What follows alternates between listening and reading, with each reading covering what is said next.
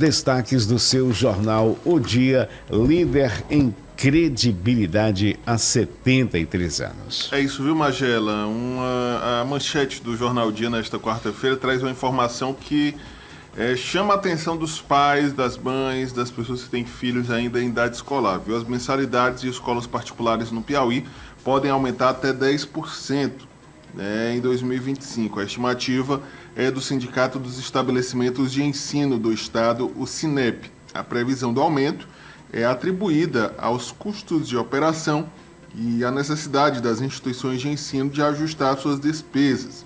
Em entrevista, o presidente do Sinep, Leonardo Ayrton, esclareceu que o aumento não é uma imposição do sindicato. Cada instituição tem a sua própria planilha de custos e isso serve como base para o cálculo da mensalidade. A orientação é que cada escola siga aí a sua planilha de custos para estabelecer o reajuste para 2025. Né? Então, importante que os pais já comecem a ficar atentos com essa possibilidade, né? reajuste na mensalidade das escolas particulares. E aí na edição de hoje do Jornal Dia, viu, tem algumas dicas bem interessantes para os pais se planejarem já para esse momento. Né? O início de ano sempre é marcado pela despesa com a matrícula, a compra do material escolar e agora também com a possibilidade de reajuste nas mensalidades. Então, no, na edição de hoje do Jornal Dia, você confere dicas para reduzir o impacto desse aumento das mensalidades no orçamento familiar. Entre as dicas, o planejamento financeiro, é, aproveitar descontos em materiais escolares, reutilizar materiais de anos anteriores.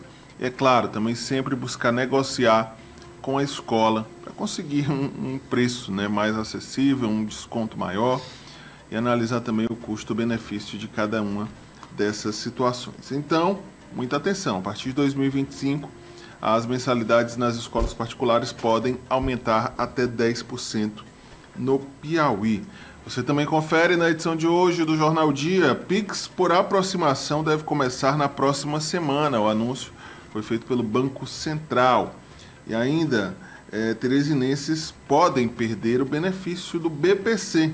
Né? Você vai descobrir o porquê na edição de hoje do Jornal Dia, que também traz informações sobre a mesa diretora da Câmara Municipal. O prefeito eleito Silvio Mendes deve ter candidato na disputa para a presidência da Câmara, deve apoiar um candidato na disputa pela presidência da Câmara. A informação foi repassada à reportagem do Jornal Dia pelo vereador Luiz André do PL, um dos vereadores mais próximos ao prefeito eleito.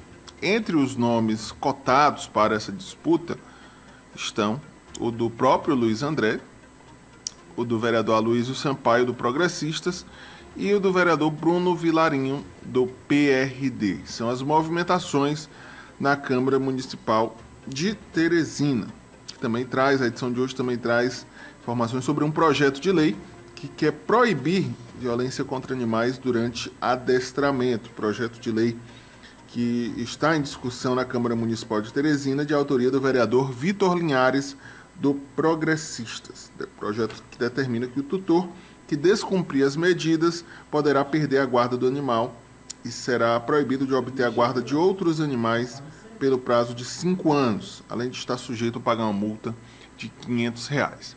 Tudo isso muito mais na edição de hoje do Líder em Credibilidade, o jornal O Dia. Então, você quer receber o jornal O Dia no conforto da sua casa? Ligue e assine 21069944, 21069944 é o número para você ligar assinar e receber o Jornal Dia no conforto da sua casa. Informação com a marca do líder em credibilidade. Há 73 anos com você, o Jornal Dia.